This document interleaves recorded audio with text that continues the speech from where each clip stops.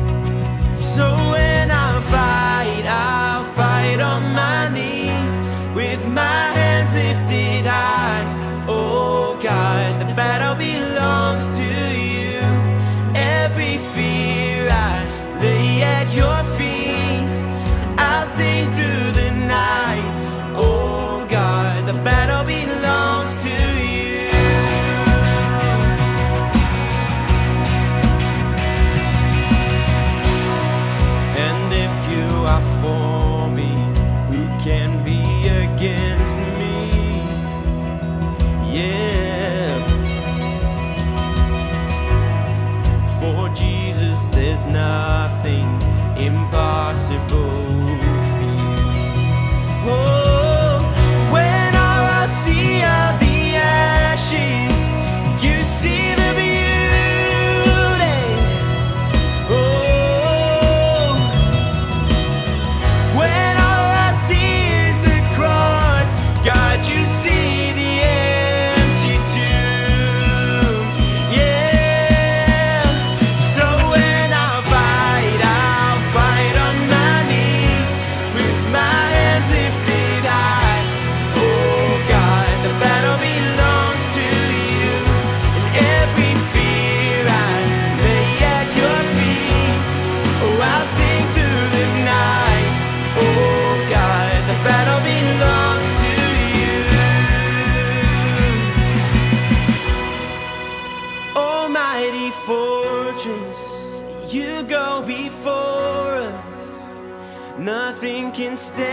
against the power of our God. You shine in the shadows, you win every battle.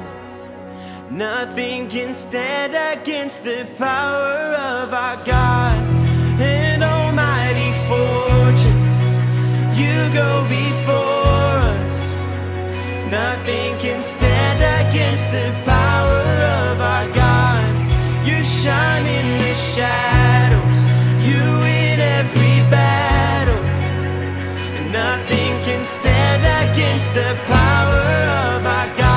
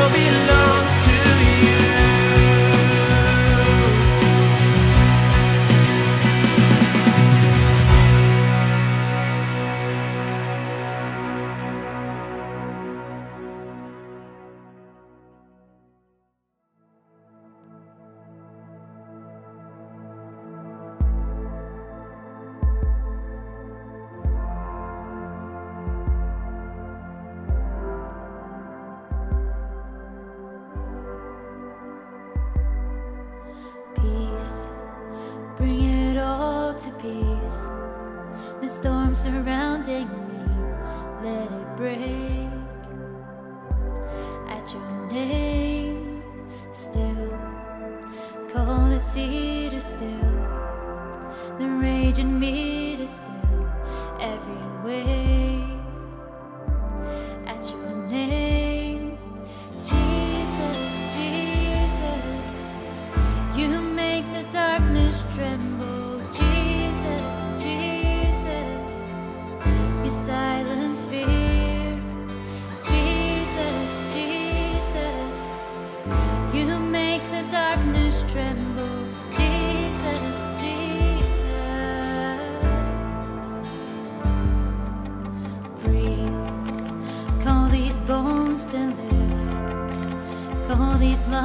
The sing once again.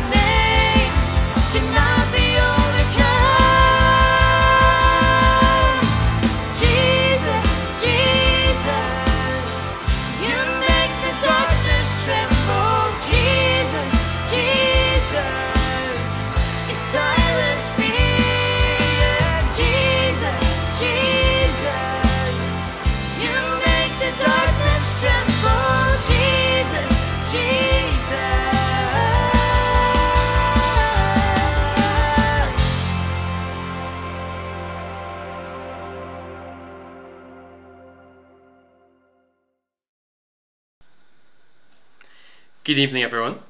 Welcome to day three of our time spent this week at Maranatha Camp looking at the fruit of the Spirit.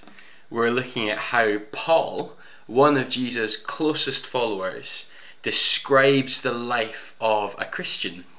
How a follower of Jesus lives his or her life as God's Holy Spirit grows these things in our lives and in our hearts. On day one, if you remember, we looked at love and how we are to love others like God has loved us, sacrificially forgiving one another in the same way that God has sacrificially forgiven us. And then yesterday, we looked at joy, which is a, a deep steadiness, a deep hope, and a deep gladness that keeps us going, keeps us trusting in God through all of life's ups and downs. And tonight we're on to our third part of the fruit, and we're going to be looking at peace. I looked up the BBC website earlier on today, and all that I could see from top to bottom of the page was war.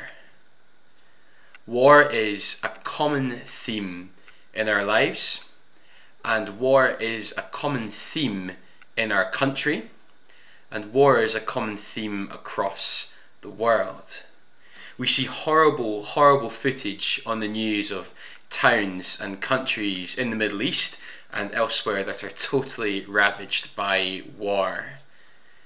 Human beings and families that need food, children that need rescue, It's, it's awful. It's genuinely terrible. It's horrible to see. Cities are destroyed, jobs are destroyed, lives are destroyed. There doesn't seem to be any hope of peace for any of these people. And even if we do somehow create peace in these places, it never really seems to stick. It only ever seems to last for a short while. It seems much more like a dream than anything else. But on the news website I was looking at earlier, there are lots of, of other wars going on too at the moment. There are political wars going on between groups. There's war on racism, there's war on inequality, there's a war on illnesses, and there's a whole other list of things that seem to be fighting back. We can't really seem to fight them off or to put an end to them. We can make progress, but again, it only seems to last a short while before something else goes wrong, or there's another issue, more war. And I wonder if we'll ever really see peace in any of these areas that I've just mentioned. But there's one more war to mention, and it is a really, really important one.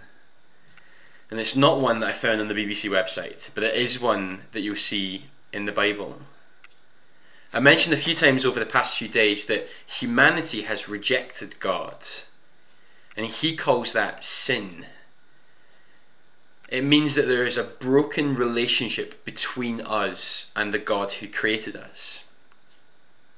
Actually, God says that humanity's natural tendency is to reject Him, to ignore Him, to ignore His offer of love.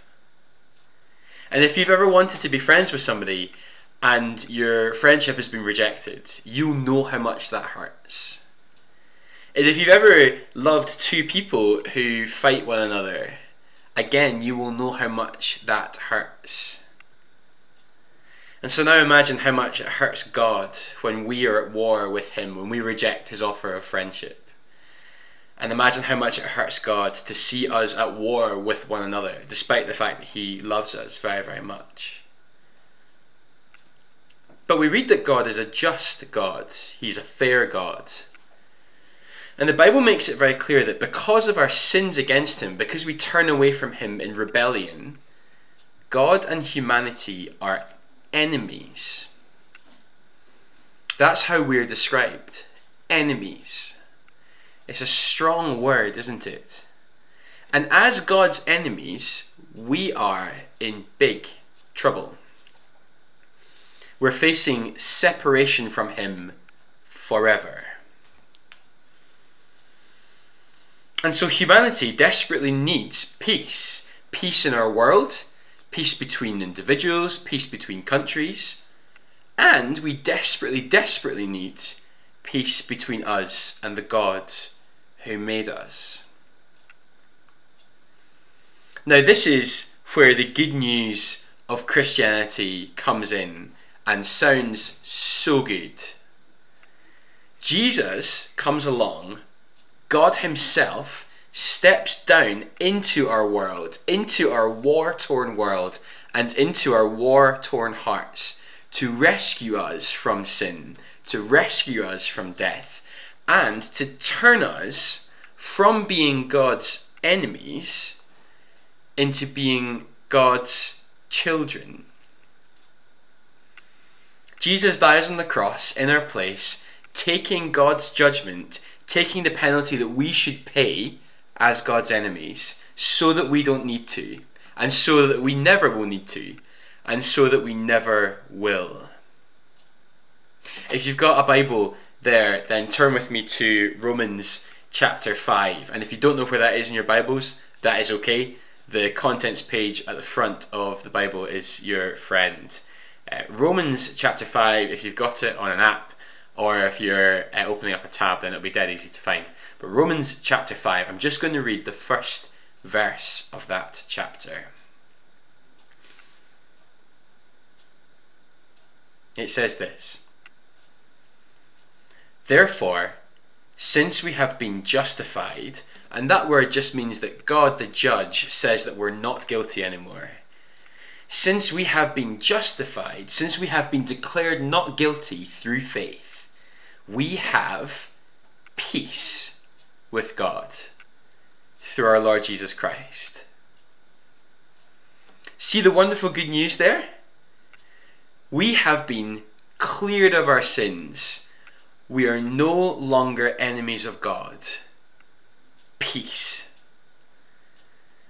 And the letter that Paul writes to the church in Rome, the letter of Romans, goes on to say that we go from being enemies of God to friends, sons, daughters, beloved children.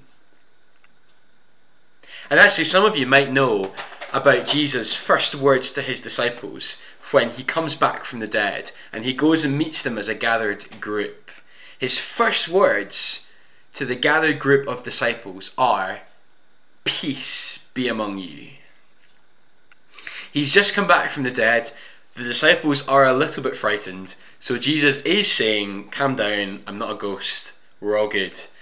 But his words of peace are so much greater than just calm down. Jesus is talking about a peace between God and everyone who was his enemy but now trusts in him. Jesus is talking about an end to the war between sinful, rebellious humanity and a good and just God. And so, as Christians, we are children of peace. We are children of the God who has restored and fixed the broken relationship between us and Him. And so this means that if you're a Christian, if you're a follower of Jesus, you now take that message of peace with you wherever you go. So back in, in Roman times, 2000 years ago, when two armies were at war with one another and one of those armies won, somebody from that army would run around all the towns nearby, run around all the cities, shouting loudly about the victory so that everyone would know, so that everyone would hear about it. Well, the war between Jesus and sin, the war between Jesus and death, has been won by Jesus. And so peace with God is now available through Jesus. And that means I don't need to worry anymore about my relationship with God. I know that I have peace with Him if I have placed my trust in Him and asked Him for forgiveness. And I know that I will have that peace with Him, not just until I make another mistake or sin again, but I have that peace with Him forever. And if you're a Christian listening this evening, the Spirit, God's Spirit, is producing that peace in your heart. You live as peacemakers. You speak to different people about the, the God that you love and how He has won. You speak about the, the offer that He makes, the good news that He shares. And you say to people that actually you don't need to carry on living as one of God's enemies anymore. Because of Jesus, you can live a life of peace, peace with Him, with the promise of an eternity with Him on a new earth, free from sin, free from evil, free from death. And so if I'm if I'm worried about whether or not I really am a Christian because I, I just keep on sinning and I just keep on messing up, actually I can listen to those words that Jesus spoke to his followers. Peace be among you. And I can think, no, actually everything is good. Everything is okay. Because I have peace with God through Jesus. or if I'm worried about what I see on the news, if I'm worried about these wars and, and wars between people and countries, if I think to myself, when will they ever end? If they just seem endless, I can think, no, actually, everything is good, everything is okay, because one day God will intervene and He will put it to a stop forever. These are things that are always worth thinking about and thanking God for. See, God ends the war between us and Him, and He says that He will bring all wars to an end one day. God teaches us that humanity, human beings, you and me, we are made in His image. Humanity has a, a dignity to it, a, a value to it. And that's why Christians, amongst others, but that's why Christians believe in protecting human life wherever and whenever we can. It's why you often see Christians right on the front lines of humanitarian aid or putting an end to slavery, fighting for equality, trying to somehow make a difference in the world, pursuing things like justice. Because the Bible teaches us that humanity is not just a product of chance. We're not just a different type of animal amongst all the other different animals in the world. We're made in the image of a loving and just God who generously gives us peace. Peace with Him. And so that's why we also chase these things love, justice, peace, because we're made in His image and we reflect His desire for these things. So, as I wrap up for the evening, if you're listening and you're a Christian, let me ask you this What does it look like in your life to be a peacemaker? What will it look like for you to live as a peacemaker? Think about all the friends that you know, the family members that you know who are still enemies of God in their sin. Or think about the, the wars and the fights that you see just around about you in friendship groups, in school. God has given you peace with Him. And He extends that offer out to others as well. So share that offer with others. Talk about the peace that God has given you. And God will one day bring all fighting and wars to an end. So we as his people should always be looking to stop fights and to stop wars whenever we can.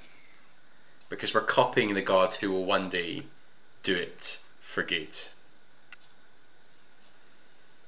What will it look like for you to be a peacemaker? What will it look like for the peace that God has given you to shape the words that you say and to shape the things that you do?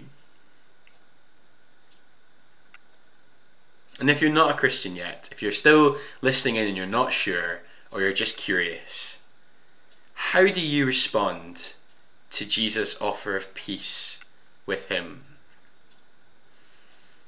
It really is the best news that you could ever hear. It's the offer of no longer being God's enemy, but instead being His child, loved by Him very, very much, forever. It's the promise of living in a new world, free from all of the fighting, free from all of the war that haunts us in this world. And you can be there if you place your faith and trust in Him, enjoying peace with Him and peace with one another forever. That is the good news of the gospel. That is the good news that Jesus came to share. I'm going to stop there and I'm going to pray, and then we'll move on to the next part of the evening. Father, we thank you so much for this wonderful good news of peace that you have given us despite being your enemies through Jesus, your Son.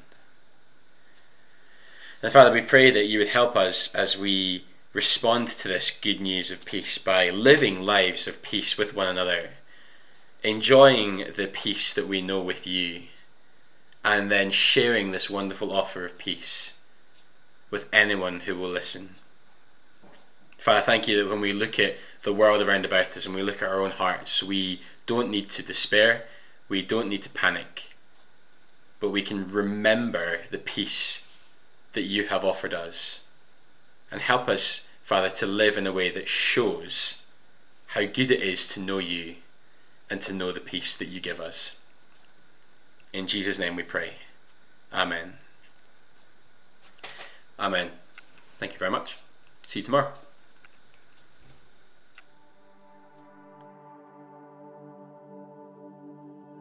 Were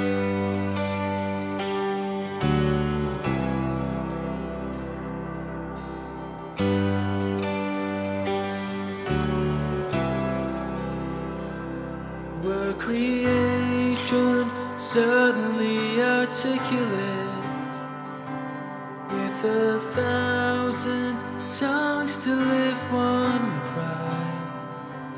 Then from north to south and east to west, we to Christ be magnified.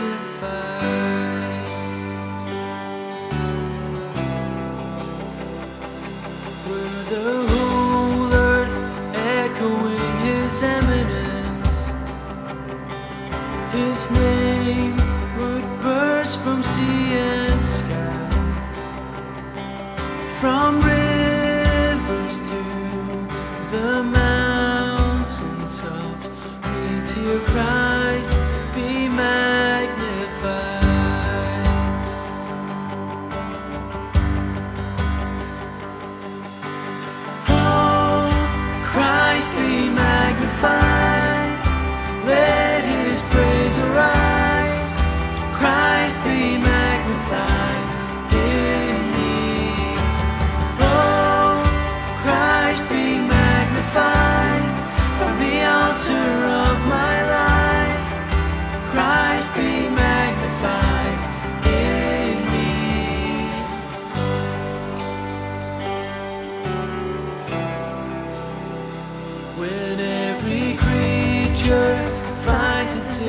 inmost melody,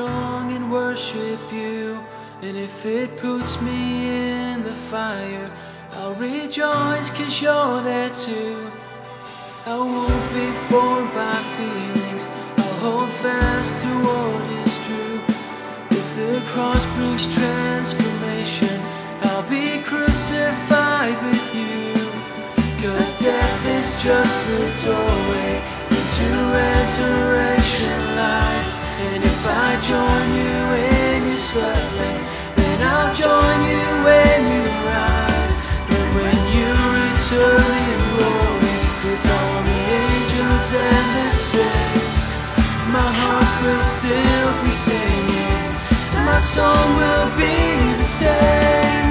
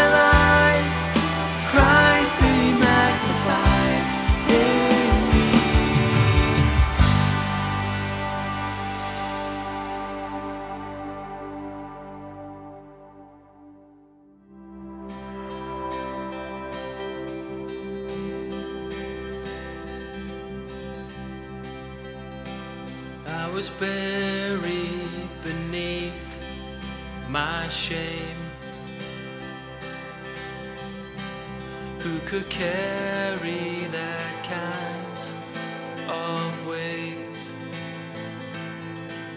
It was my turn till I met. I was breathing.